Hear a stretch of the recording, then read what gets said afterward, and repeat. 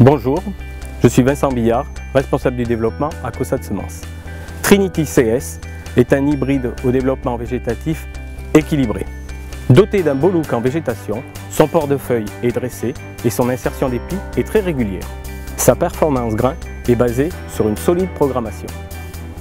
Des épis longs, bien fécondés et un fort PMG.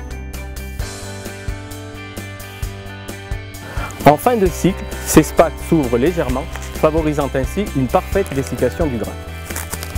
Doté d'un excellent profil sanitaire en fin de cycle, Trinity CS allie qualité sanitaire en toute situation et forte productivité en grain.